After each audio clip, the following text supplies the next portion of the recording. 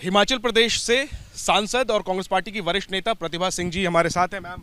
आज ऐतिहासिक दिन दो मामलों में एक तो पुरानी संसद से नई संसद में आप लोग प्रवेश करेंगे।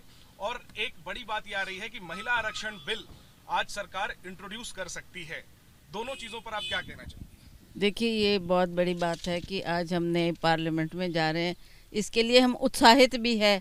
और एक एक ये याद कि पुराने भवन में भी हमने बहुत समय निकाला।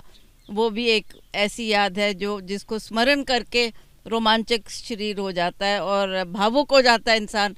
पर चलो, वक्त के साथ बदलना बहुत ज़रूरी है और नए भवन में आज हम प्रवेश करने जा रहे हैं। ये भी एक बहुत ऐतिहासिक मोमेंट है और जहाँ तक आपने महिला आरक्षण बिल की बात की है, वो पहले भी यूपीए सरकार के टाइम भी ये बिल की डिमांड हुई थी, पर ये हो नहीं पाया। पर अगर आज होता है तो ये भी महिलाओं के लिए एक बहुत बड़ी उपलब्धि है। स्वागत करेगी आप कांग्रेस सपोर्ट करेगी पूरी तरीके से बिल जब इंट्रोड्यूस होगा हाउस में।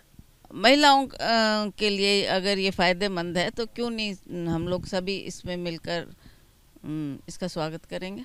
ठीक है तो इंतज़ार रहेगा। देखिए जब से ये बात सामने आई है कि महिला आरक्षण बिल लाया जा सकता है तब से ही कांग्रेस ने स्पष्ट तौर पर ये कहा है कि वो इसका स्वागत करेगी। हालाँकि कांग्रेस ये भी याद दिलाने की कोशिश कर रही है कि यूपीए सरकार के समय में वो महिला आरक्षण बिल लेकर आई थी, राज्यसभा से उसे पास भी करवाया गया था।